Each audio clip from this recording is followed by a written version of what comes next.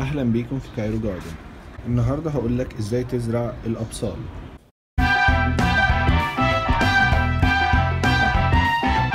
الأبصال أو ال bulbs دي عبارة عن ورد بس بيبقى في شكل بصيلة زي البصلة كده. ده ممكن تزرعه في الأرض عادي وتدفنه بس طبعا ده بيحتاج مية معينة. يعني ما ينفعش تحط مية كتير عشان ما يبص. آه في طريقة اسمها forcing bulbs يعني إجبار ال- آه، البصيلة على إنها تنبت وتدي لك زهرة. دي بإن أنت تجيب البصيلات زي ما أنا جايبها هنا كده وتحطها في المية.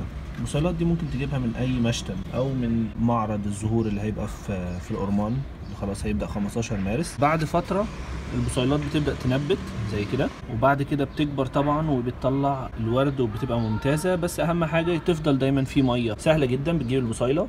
تحطها في مية زي ما أنا عامل كده. بتاخد بالظبط مثلا شهر أو حاجة وبعدين بتطلع آه، الزرع. لو زرعت البصيلات في الأرض آه، البصيلات بتطلع بعدها على طول بس لازم دايما تاخد بالك من المية بتاعتها زي هنا كده.